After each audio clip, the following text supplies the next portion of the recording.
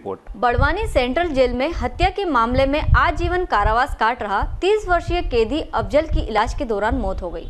सीने में दर्द की शिकायत के बाद अस्पताल में किया था भर्ती। बड़वानी मुख्यालय के सेंट्रल में कैदी की अचानक मौत से हड़कम मच गया जहाँ परिजनों ने आरोप लगाया है कि जेल कर्मचारियों की लापरवाही के चलते मौत हुई है। उनका यह भी कहना है कि यदि वो पहले से बीमार थे हमें पहले क्यों नहीं बताया? देर रात सूचना कर बताया कि उसकी तबीयत खराब है इससे परिवार में आक्रोश है अचानक उसकी मौत नहीं हो सकती। कुछ दिन पहले ही उनके परिजन उससे मिलकर गए थे। वहीं जेल सुपरिटेंडेंट ने बताया कि इनका परीक्षण रेगुलर हो रहा था पूर्व में भी अच्छा था कभी कोई शिकायत नहीं थी हार्ट अटैक आने से इसकी मौत हो गई है। बड़वानी से अतुल कुमावत की रिपोर्ट। सर जी घटना यही मेरा बच्चा जेल में बंद था छः साल से। क्या नाम था बच्चे बच्चे बच्चे का नाम अफजल था। क्या हुआ उसे अरे तो क्या हुआ तो पुलिस को ही मालूम। पुलिस मरी हुई है, लेके आई।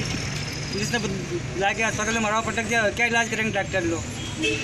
वो डॉक्टर घोषित मराव, घोषित कर दिया। पुलिस को चाहिए था कि वो दो चार घंटे पहले लेके आते, या दो चार दिन पहले लाते या मेरे को दो चार दिन पहले खबर करते कि तुम्हारा लड़का बीमार है।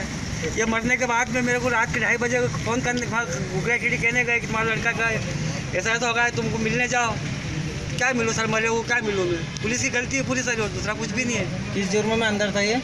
ये तो मजदूरी का था सर उस पर झूठा इल्ज़ाम इसमें मार मार के गोगांव पुलिस ने इसे कोरे कागज़ पर साइन करवा ली और उसमें मर्डर केस का इल्ज़ाम लगा दिया सर।